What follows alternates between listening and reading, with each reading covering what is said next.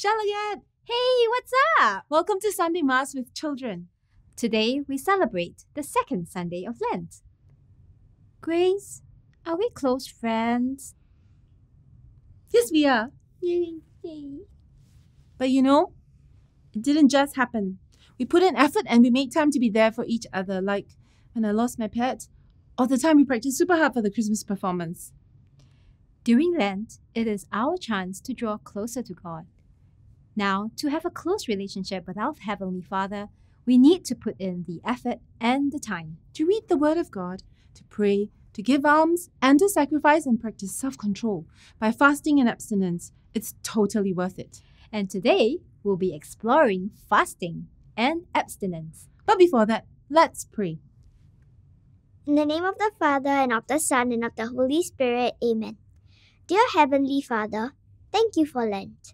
Please help us to be like Jesus in the desert, where we deny ourselves the nice things of this world, so that we can grow closer and closer to you. We want to let go of ourselves so that we can be purified and see even more clearly your great love for us. In the name of the Father, and of the Son, and of the Holy Spirit, Amen.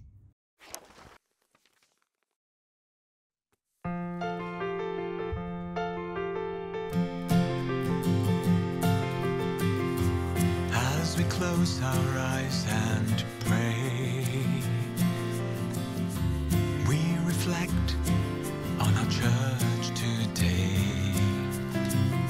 Two hundred years of faith was sown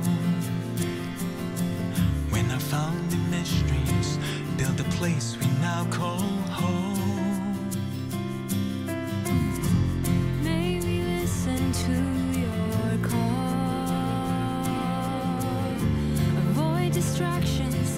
placing you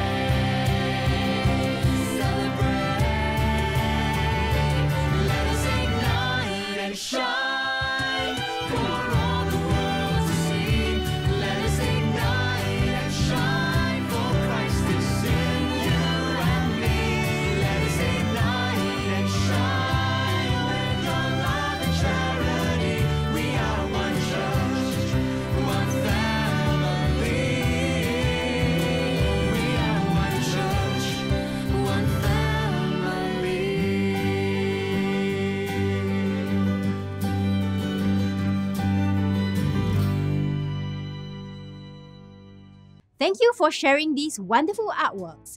If you would like to have your work shown next Sunday, simply share it with us on our Facebook page, Little Faith Steps.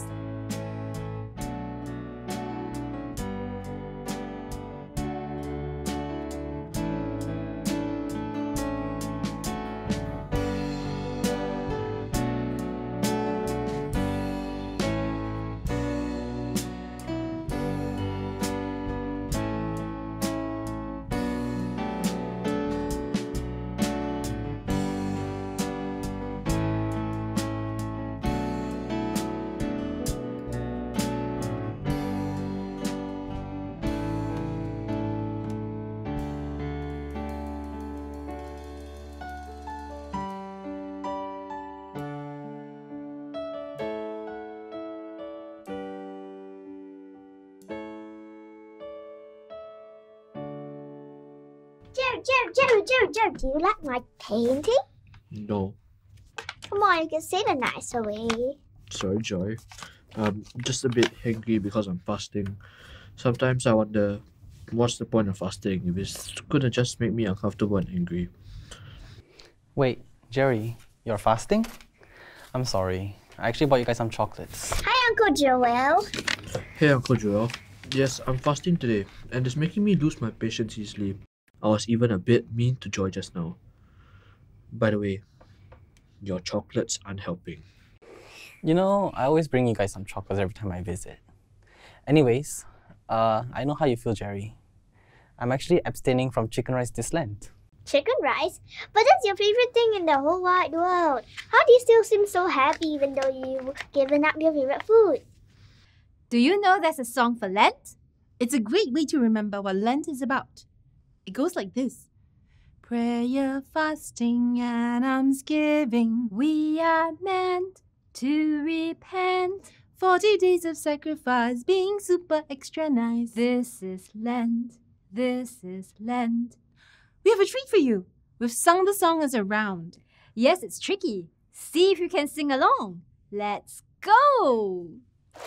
Prayer, fasting, and almsgiving. Prayer, fasting, and almsgiving. Forty days of sacrifice, being super extra nice. 40 days of sacrifice, being super extra nice. Prayer, fasting, this is Lent. Prayer, fasting, and almsgiving.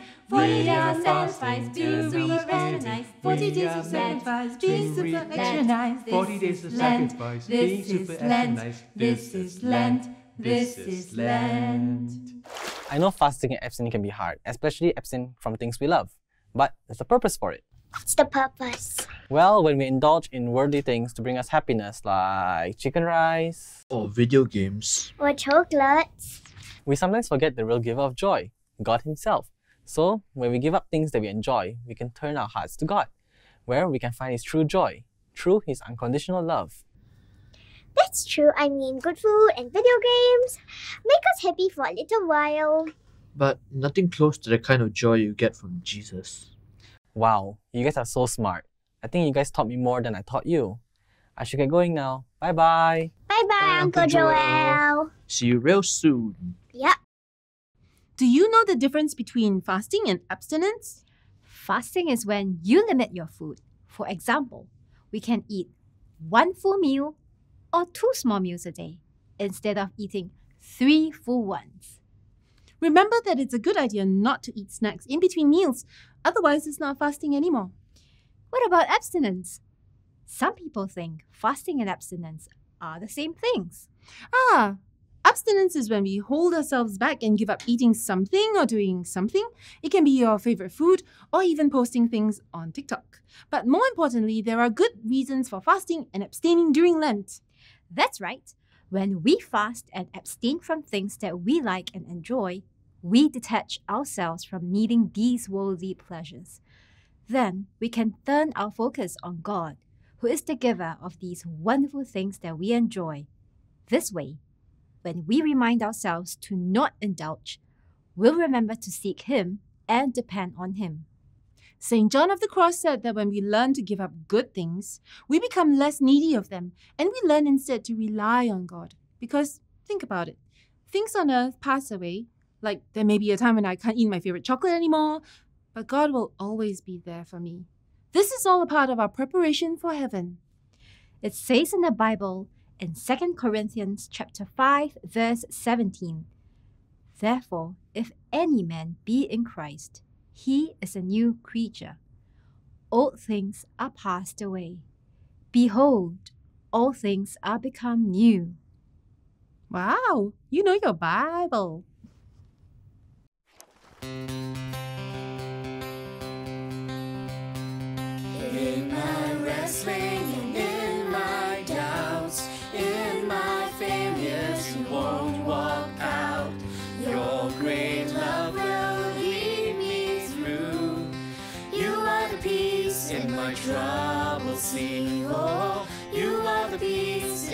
troubled sea. In the silence, you won't let go. In the questions, your truth will hold. Your great love will lead me through. You are the peace in my troubled sea. Oh, you are the peace in my troubled sea.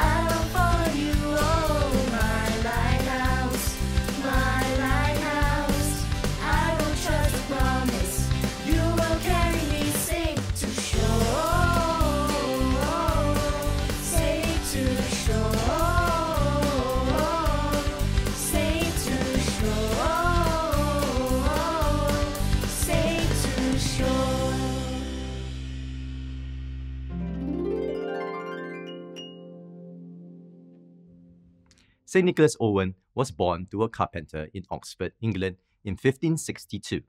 He learned the trade from his father and later joined the Jesuits. He was a creative and master builder. When the Catholic priests of England was persecuted, St. Nicholas Owen helped them by creating crafty hiding places in the many Catholic houses he visited. It was amazing because St. Nicholas Owen was a small man with a limp, but he seemed to knock down walls and move big rocks all on his own. He would take the Eucharist before he started work in secret so that nobody knew where the hiding place was or how it worked. These priest holes saved many priests because the authorities just could not find the secret places. In 1606, he was arrested with three other Jesuits after he came out of his hiding hole. You see, he was hoping to distract the authorities, but it didn't work. St. Nicholas Owen was tortured so that he would be forced to reveal information about other priests. But he refused, calling out only to Jesus and to Mother Mary. He died from his injuries. St. Nicholas Owen's feast day is on the 22nd of March. March is about to start, so it's time to set up your altar table, take a moment to get these items, and see you in a while. Hey, don't forget to take a photo and post it on Facebook or Instagram or any social media with the hashtag Catholic Mass at Home. Let us now listen to what Auntie Estella has to share with us in one Mass Minute. A special word you'll hear in today's first reading is covenant. Have you ever exchanged things with a friend or made someone a promise? A covenant is a very serious type of promise in which two people or groups give themselves to each other for the rest of their lives. When your mum and dad got married, they made a covenant with each other. God loves us so much that He has made several covenants with us. He wants us to be with Him forever. Where else have you heard this word at Mass? When Father prays over the wine, this is my blood, the blood of the new and eternal covenant. With this new covenant, Jesus comes into our hearts to help us live and love properly. When we receive the body and blood of Jesus at Mass, we remember this covenant. How amazing God is to give Himself to us like this. Thank you, Auntie Estella. Let us now settle down, sit in front of your altar table, take a moment to be silent and prepare for Holy Mass. Welcome, my brothers and sisters in Christ, to the Holy Mass with children.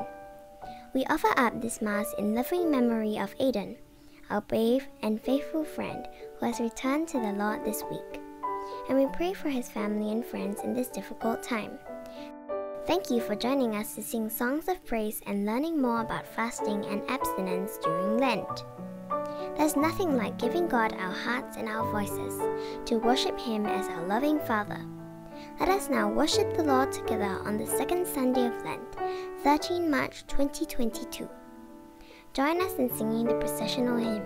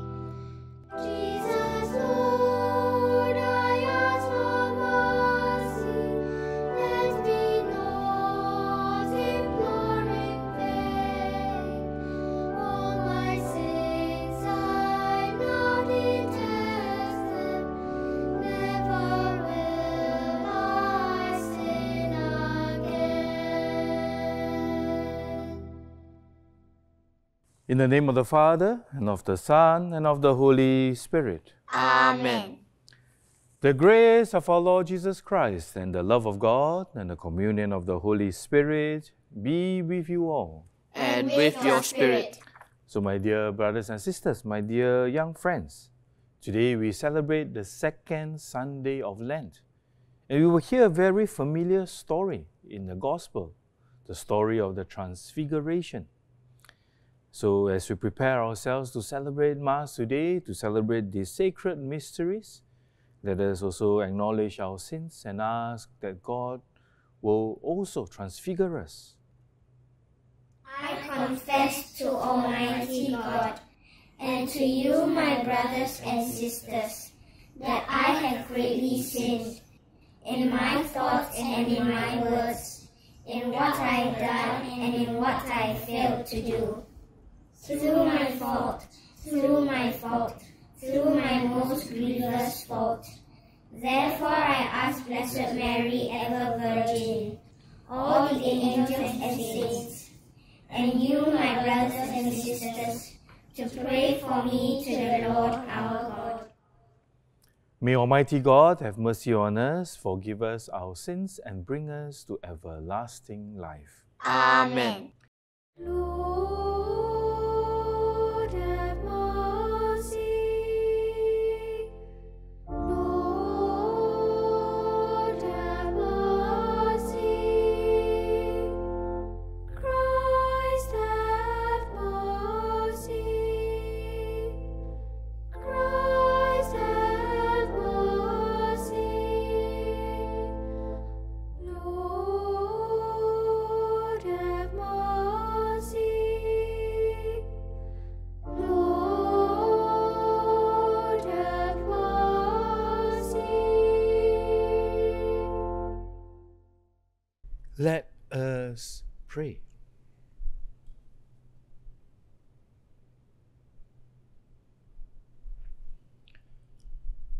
God, who have commanded us to listen to your beloved Son, be pleased, we pray, to nourish us inwardly by your word, that with spiritual sight made pure, we may rejoice to behold your glory.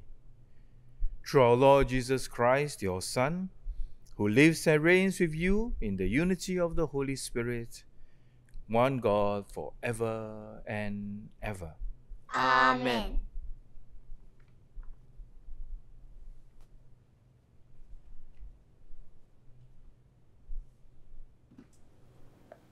A reading from the book of Genesis.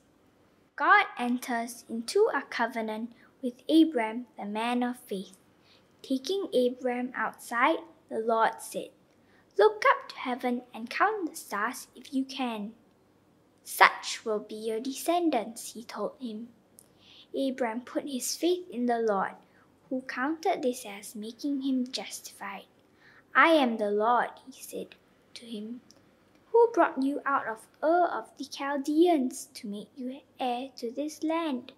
My Lord, Abraham replied, How am I to know that I shall inherit it? He said to him, Get me a three year old heifer, a three year old goat, a three year old ram, a turtle dove, and a young pigeon. He brought him all of these, cut them in half, and put half on one side and half facing it on the other.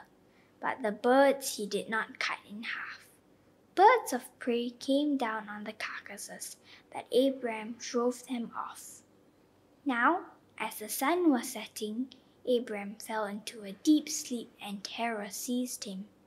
When the sun had set and darkness had fallen, there appeared a smoking furnace, and a fire brand that went between the halves. That day the Lord made a covenant with Abram in these terms To your descendants I give this land, from the Wadi of Egypt to the great river. The word of the Lord. Thanks be to God. The Lord is my light and my help. The Lord is my light and my help. Whom shall I fear?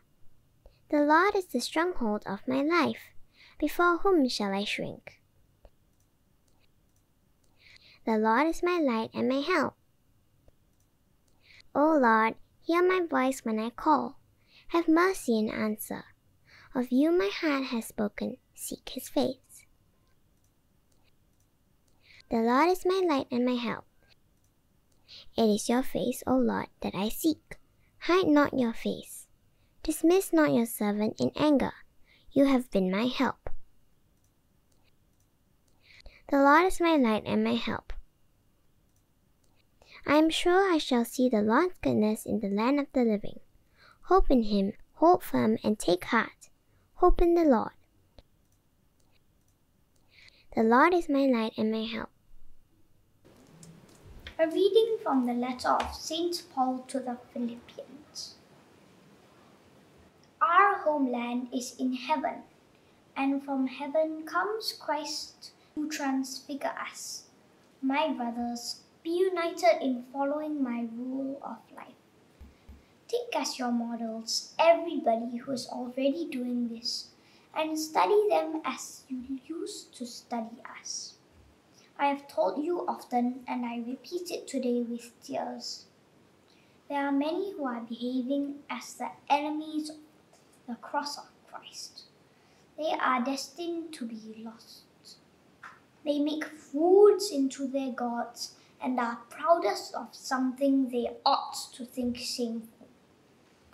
The things they think important are earthly things.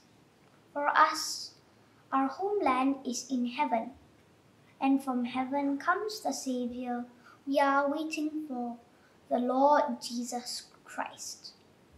And he will transfigure these wretched bodies of ours into copies of his glorious body. He will do that by the same power with which he can subdue the whole universe. So then, my brothers and dear friends, do not give way but remain faithful in the Lord. I miss you very much, dear friends, and you are my joy and my crown. The word of the Lord. Thanks be to God.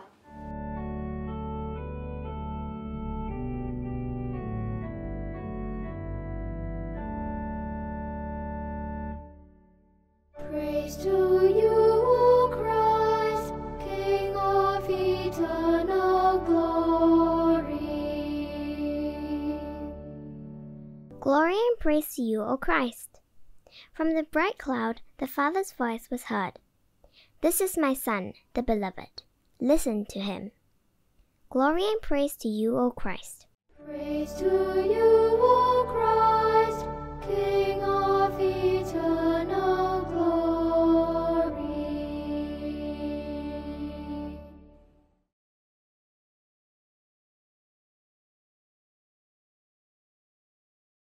The Lord be with you. And with your spirit. A reading from the Holy Gospel according to Luke. Glory to you, O Lord. Jesus took with him Peter and John and James and went up the mountain to pray. As he prayed, the aspect of his face was changed, and his clothing became brilliant as lightning. Suddenly there were two men there talking to him. They were Moses and Elijah, appearing in glory. And they were speaking of his passing, which he was to accomplish in Jerusalem. Peter and his companions were heavy with sleep, but they kept awake and saw his glory and the two men standing with him. As these were leaving him, Peter said to Jesus, Master, it is wonderful for us to be here. So let's, let us make three tents one for you, one for Moses, and one for Elijah. He did not know what he was saying. As he spoke, a cloud came and covered them with shadow. And when they went into the cloud, the disciples were afraid. And a voice came from the cloud saying, This is my son, the chosen one. Listen to him. And after the voice had spoken, Jesus was found alone. The disciples kept silence and at the time told no one what they had seen. The Gospel of the Lord. Praise to you, Lord Jesus Christ.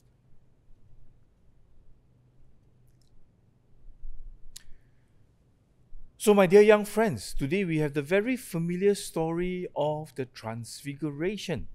You know, where Jesus went up to the mountain to pray. And then, of course, he took with him his three friends, okay, Peter, James, and John. And as you know, the disciples started to fall asleep, we were told they were heavy with sleep, but they tried very hard to keep awake. Jesus was transfigured. His clothes became brilliant as lightning.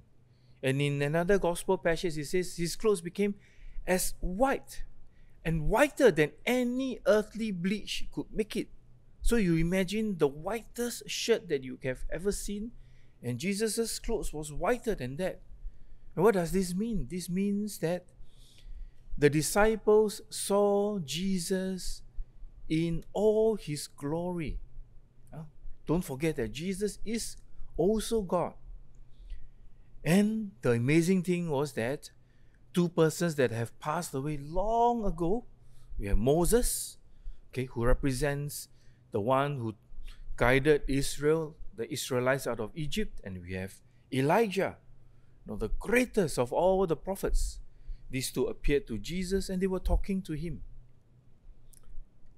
But the question is, we know about Jesus' transfiguration. I'm sure you have read about it in some of your, you know, Bible storybooks and all. But what does it mean for us? Is it really only Jesus that can be transfigured? How about us? Do we have a chance? Of course. Maybe not in the way that happened to Jesus. I hope not, because if one day all your clothes suddenly become dazzling white, I think your daddy and mommy will become very nervous.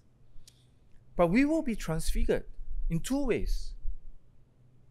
First way, I'm very sure you may notice that before the Mass, we dedicate this Eucharistic celebration to this little boy called Aidan, who passed away last week.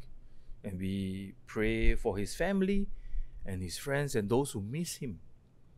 That is one way that we are transfigured. That when our time on this earth is over, okay, Jesus will come and bring us to be with him. And if we are with Jesus, and after we have been purified of all our sins, we will be like Jesus. Our clothes, because of our purity, will be dazzling white, brilliant white, like lightning, whiter than anything that we have seen. Because, like I mentioned, we are all purified of our sins, and now we are ready for heaven. You know. But there is also another example that when we pray, when we are sorry for our sins, we ask Jesus to forgive us. Or for those of us who are already old enough and we go for the sacrament of reconciliation, or we go for confession, we ask Jesus to forgive us, especially in the sacrament, you know, through the actions of the priest. The priest is the person that represents Jesus. And when the priest forgives you, he says, I absolve you of your sins in the name of the Father and of the Son and of the Holy Spirit.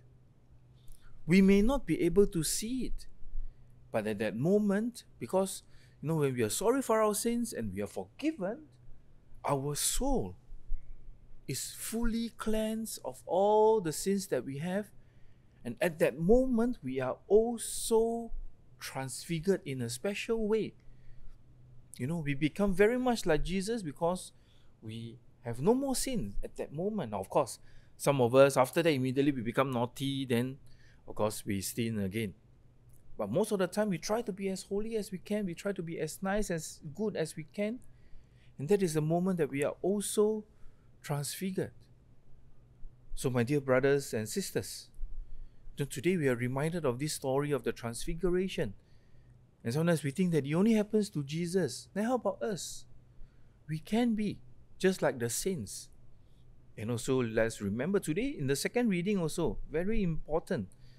St. Paul tells us through this letter to the Philippians, he says, Our homeland is in heaven, And from heaven comes the Savior we are waiting for, Lord Jesus Christ. All the good things that we do now to try to be the best that we can is to prepare us to go to our homeland that is in heaven.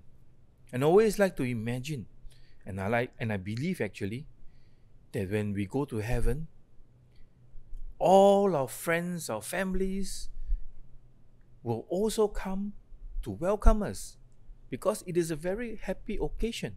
And you see all of us in our transfigured form. And then that is where we will spend eternity in, with love, with joy, with Jesus, with Mother Mary, and all the other saints that we have come to love so much. So let us continue to be faithful. Let us try our best to be good boys and good girls. But those of us who have, you know, fallen in the sense is that we have done naughty things, you know, sometimes we do naughty things. Important to apologize huh? if you have done naughty things at home, then to apologize to mommy and daddy, to maybe to our siblings, and those of us who are old enough and we have already received our first sacrament of reconciliation or our first confession, then is to go often. Ask mommy and daddy to bring you for confession often and encourage the whole family to go together. Sometimes it's very nice when I, you know, minister this sacrament to the whole family. You see mommy, daddy, then you see koko, cheche, you know, three, four persons all together as a family.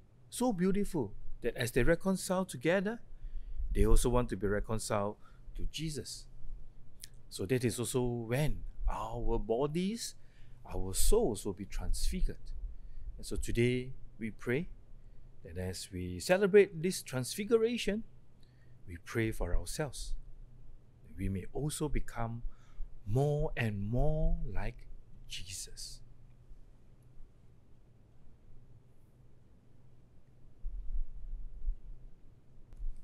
So we shall have our profession of faith now.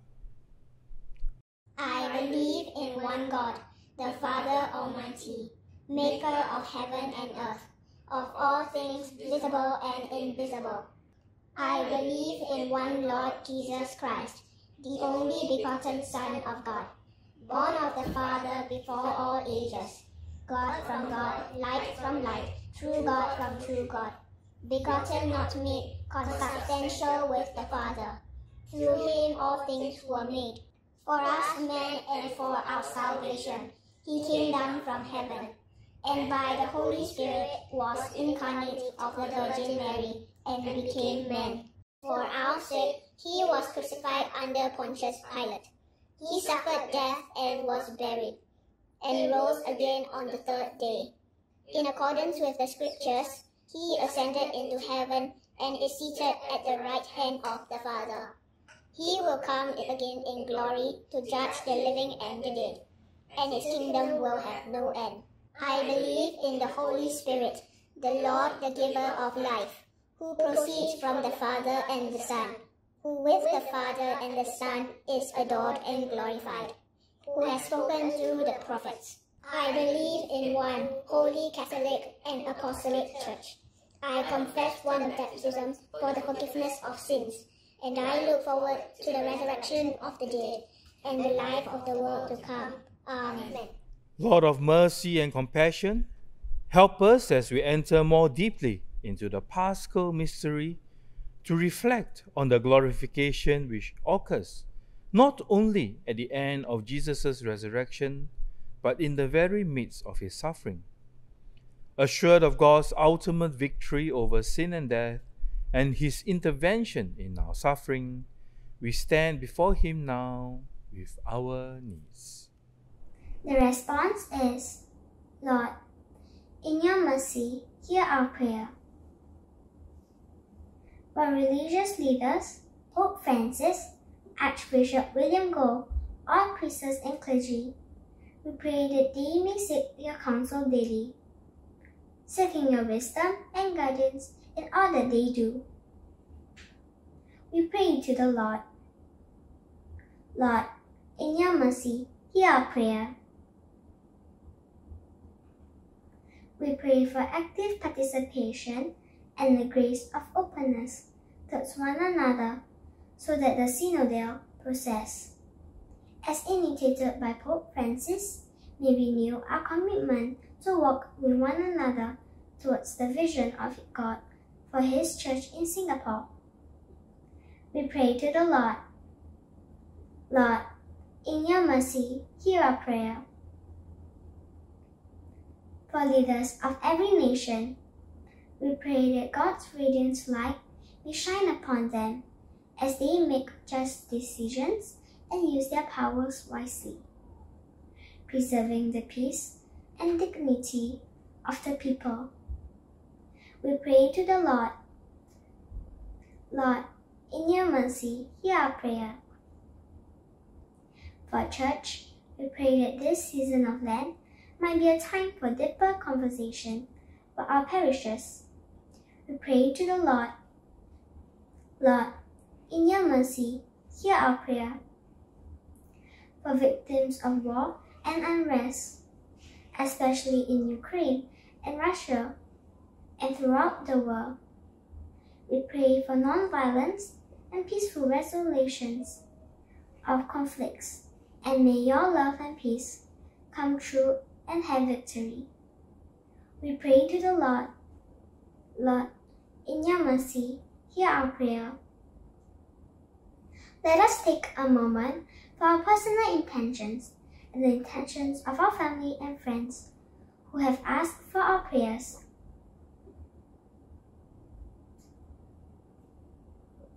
We pray to the Lord. Lord, in your mercy, hear our prayer. Most merciful God, from the clouds you reveal Jesus in glory as your beloved Son. We trust that you will always give us what we need. Enlighten us with the bright glory of your presence and inspire us with your word. Keep us true to you so that we may be transformed into the image of our risen Lord. This we ask in the name of Jesus our Lord. Amen.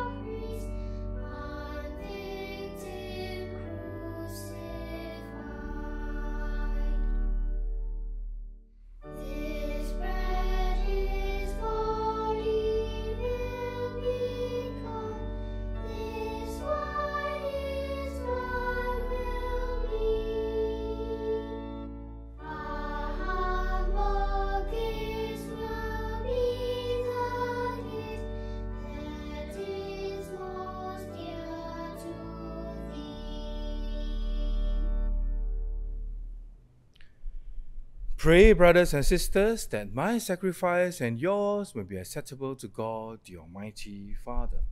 May the Lord accept the sacrifice at your hands for the praise and glory of his name, for our good and the good of all his holy church. May this sacrifice, O Lord, we pray, cleanse us of our faults and sanctify your faithful in body and mind for the celebration of the Paschal festivities through Christ our Lord. Amen. And the Lord be with you. And with your spirit. Lift up your hearts. We lift them up to the Lord. Let us give thanks to the Lord our God. It is right and just. It is truly right and just, our duty and our salvation, always and everywhere to give you thanks, Lord, Holy Father, Almighty and eternal God, through Christ our Lord. For after he had told the disciples of his coming death, on the holy mountain he manifested to them his glory, to show even by the testimony of the law and the prophets that the passion leads to the glory of the resurrection. And so, with the powers of heaven, we worship you constantly on earth, and before your majesty, without end, we acclaim. Sanctus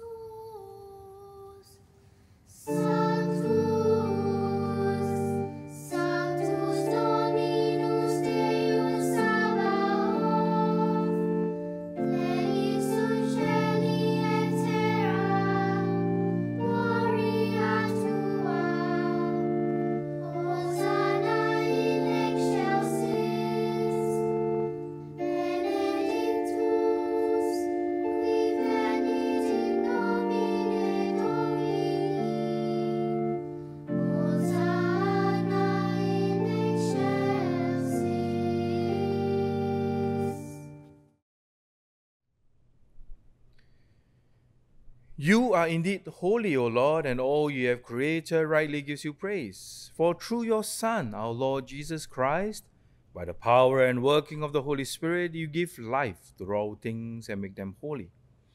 And you never cease to gather a people to yourself, so that from the rising of the sun to his setting, a pure sacrifice may be offered to your name. Therefore, O Lord, we humbly implore you, by the same Holy Spirit, graciously make holy these gifts we have brought to you for consecration, that they may become the body and blood of your Son, our Lord Jesus Christ, at whose command we celebrate these mysteries. For on the night he was betrayed, he himself took bread, and giving you thanks, he said the blessing, broke the bread, and gave it to his disciples, saying, Take this, all of you, and eat of it, for this is my body, which will be given up for you.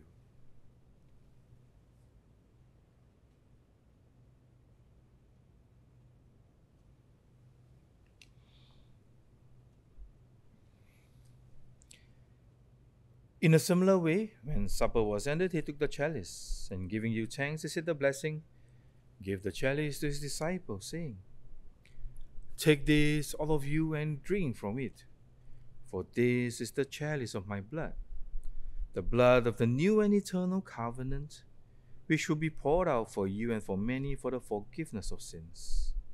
And do this in memory of me.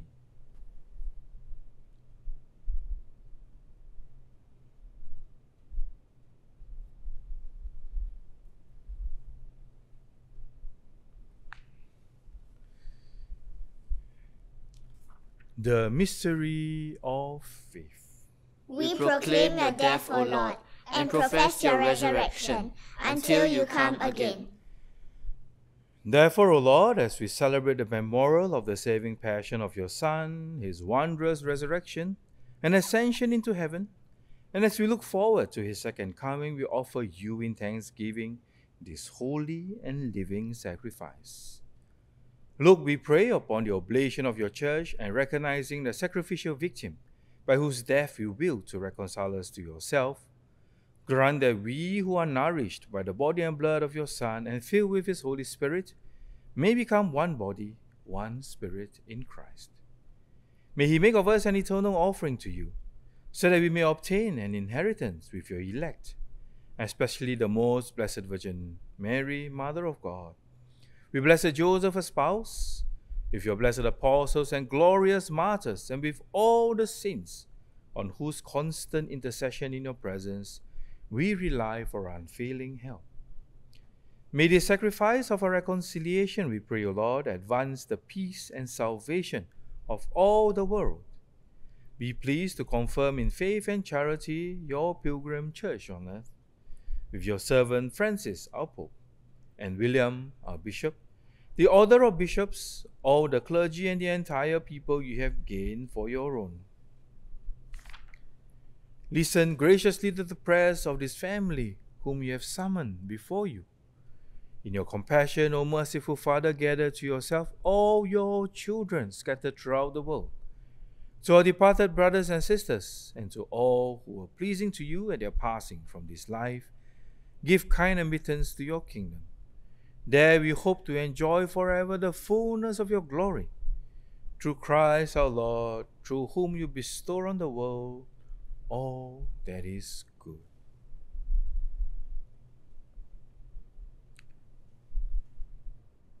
Through him and with him and in him, O God, Almighty Father, in the unity of the Holy Spirit, all glory and honor is yours forever and ever. Amen.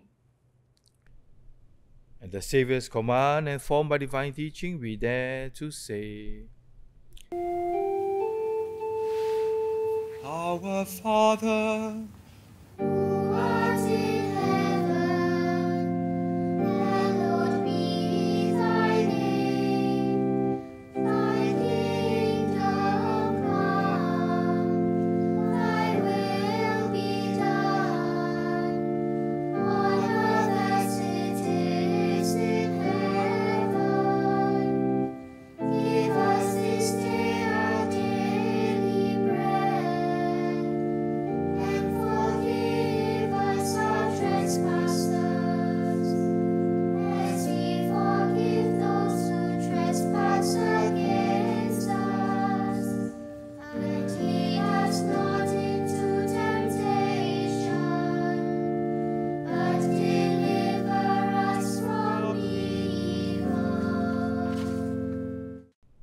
Deliver us, Lord, we pray, from every evil. Graciously grant peace in our days, that by the help of your mercy we may be always free from sin and safe from all distress, as you await the blessed hope and the coming of our Saviour, Jesus Christ.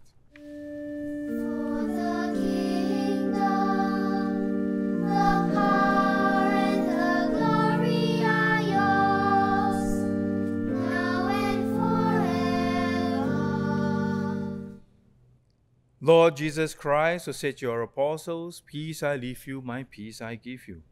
Look not on our sins, but on the faith of your church, and graciously grant her peace and unity in accordance with your will, who live and reign for ever and ever. Amen. The peace of the Lord be with you always. And with your spirit. Let us offer each other the sign of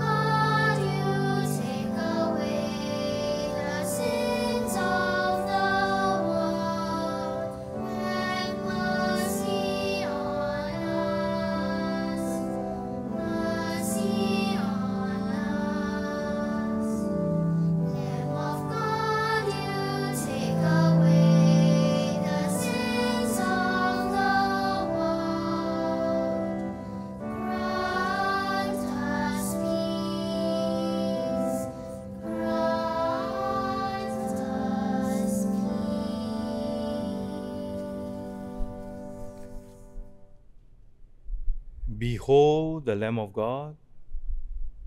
Behold him who takes away the sins of the world. Blessed are those called to the supper of the Lamb.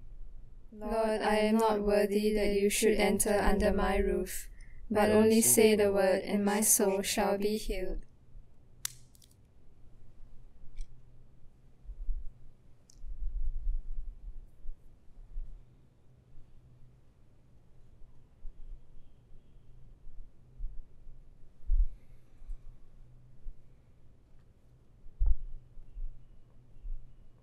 So, my dear brothers and sisters, although you're not able to come for Mass today, you know, watching this broadcast at home, I just invite you to unite your heart with Jesus and also continue to pray that He will transfigure us to be more and more like Him Now we can take the prayer of spiritual communion.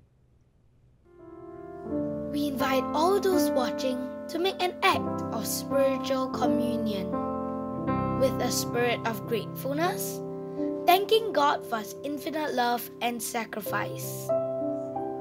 With humble and contrite hearts, let us express our desire to invite Jesus into our souls. My Jesus, I believe that you are present in the most holy sacrament. I love you above all things, and I desire to receive you into my soul. Since I cannot at this moment receive you sacramentally, come at least spiritually into my heart. I embrace you as if you were already there and unite myself wholly to you. Never permit me to be separated from you. Amen.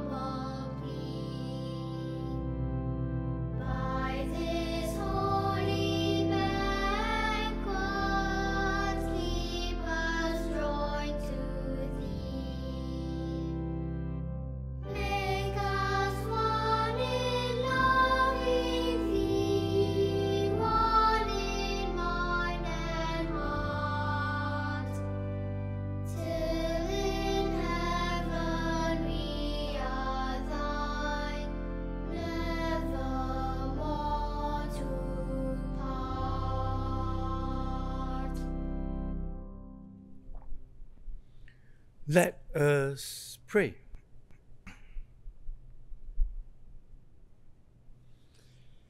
As we receive these glorious mysteries, we make thanksgiving to you, O Lord, for allowing us, while still on earth, to be partakers even now of the things in heaven, through Christ our Lord. Amen. The Lord be with you. And with your spirit. And bow your head and pray for God's blessing.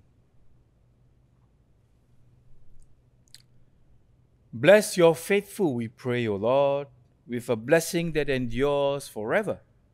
And keep them faithful to the gospel of your only begotten Son, so that they may always desire and at last attain that glory whose beauty he showed in his own body to the amazement of his apostles. Through Christ our Lord. Amen. And may Almighty God bless all of you, the Father, and the Son, and the Holy Spirit. Amen. And go in peace, glorifying the Lord by your lives. Thanks be to God.